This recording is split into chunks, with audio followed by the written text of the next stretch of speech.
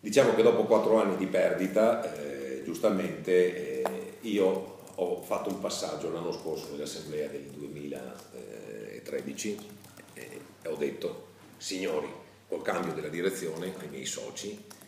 ho detto, guardate che vi prometto, mi impegno a portare a pareggio, se non a un piccolo utile, l'azienda. Ovviamente a fronte del risultato di quest'anno, che è frutto del fatto che la situazione economica non si sta modificando, anche un po' per gravi carenze della politica che per le aziende e per l'economia reale ha fatto poco, ha fatto poco.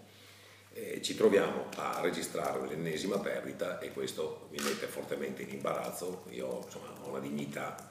eh, sono conosciuto nel mio territorio, sapete che la mia famiglia ha un'azienda che ha 350 dipendenti, quindi non posso eh, passare davanti a questa, a questa situazione